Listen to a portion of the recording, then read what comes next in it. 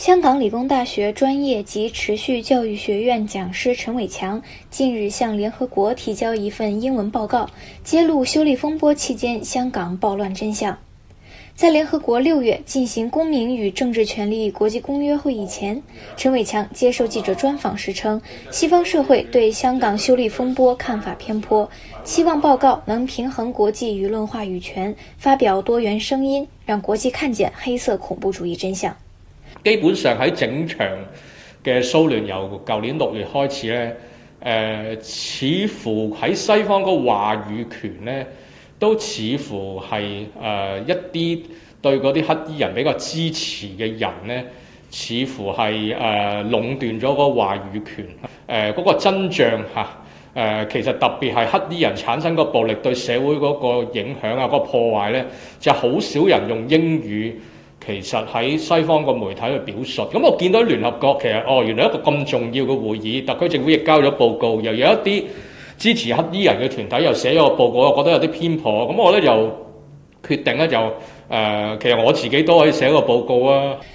在长达六千字的英文报告中，陈伟强先在概念上澄清西方社会的普遍误解，提到黑衣人不是示威者，而是使用汽油弹等杀伤性武器。冲击破坏立法机构的暴乱分子。报告中更举实例详述占领理工大学事件中，一名英国医生以偏概全，指控警方粗暴对待医护人员。但是事实是，该医生未能在警方限定时间内离开，才被拘捕协助调查。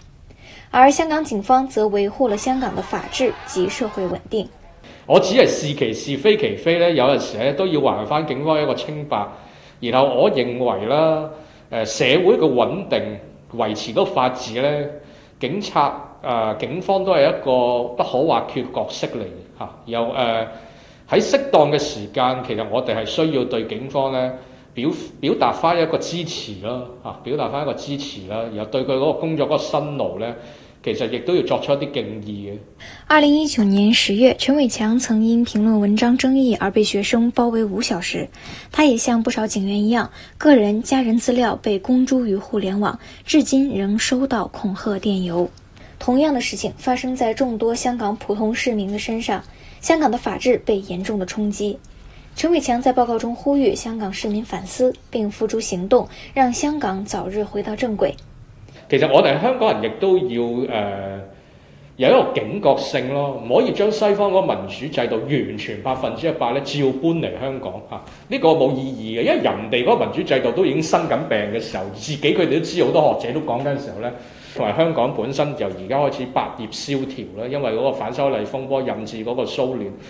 同埋嗰個疫情咧，我覺得處理經濟問題同埋處理嗰個疫情嘅問題咧。反為係重中之重咯，咁就呢個係我成個報告嗰個結構嗰個流程啊。